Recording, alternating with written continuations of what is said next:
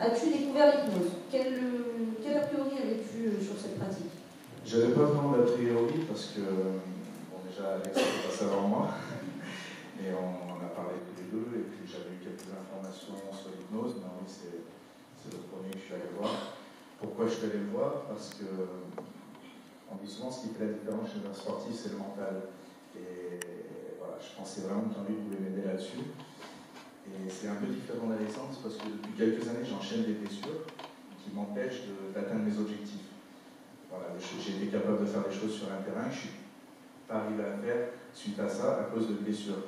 Et suite à la blessure, il y a plein de choses qui s'installent, le doute, l'appréhension, toutes ces choses-là. Alors, quand on rentre sur un terrain devant 20 000 personnes, il y a toujours il y a cette pression à, à vouloir gérer parce qu'on veut à tout prix être bon ça va être différent pour les personnes qui sont dans cette salle, c'est peut-être pour un permis de conduire, des examens passés, je ne sais pas, peut-être euh, dans le travail.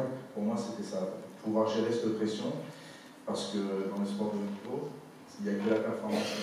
Si jamais je rentre sur un terrain, mais j'ai mal au genou, je le sais, mais il faut que je sois bon, les entraîneurs ne vont pas en tenir compte, il va falloir que je sois bon. Il fallait que j'arrive à passer au-dessus de cette pression. Et c'est pour ça que je suis allé voir voilà. D'accord, très bien. Finalement, quand tu, quand tu es arrivé dans, dans le cabinet, comment ça s'est passé euh, Comment tu t'es senti Et si tu peux me faire un petit retour sur cette expérience Sur cette expérience-là, honnêtement, je me suis senti très bien. Parce que, bon, il s'est mettre à l'aise euh, des personnes, on a discuté déjà un moment, parce qu'il y a des choses qu'on qu a besoin de dire. On, voilà, lui, il veut comprendre aussi qui on est, pourquoi on vient et comment il peut nous aider. Donc, euh, déjà, ça a fait beaucoup de bien parler et c'est très facilement qu'après je me suis confié que en tout cas, je suis parti en hypnose. Très bien.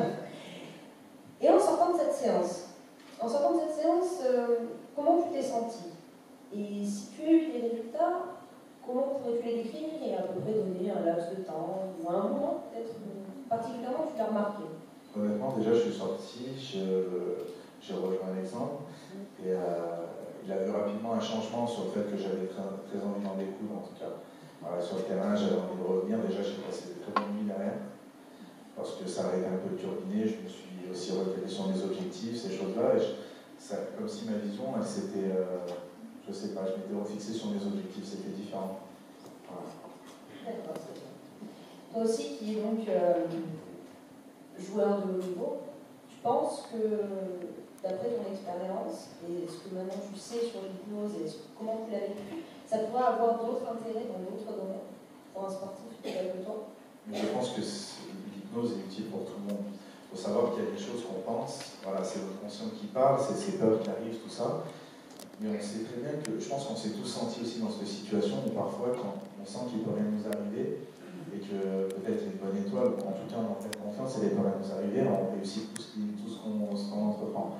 Et euh, je pense que ça, c'est subconscient. C'est ce que Henri arrive à, aller nous chercher dans cette zone-là, en tout cas? Voilà. c'est utile pour tout le monde. Moi, j'ai des objectifs pour le rugby, on a d'autres objectifs, mais ça peut être utile pour tout le monde, que ce soit pour la douleur, l'appréhension, tout ce qu'il a montré Très bien.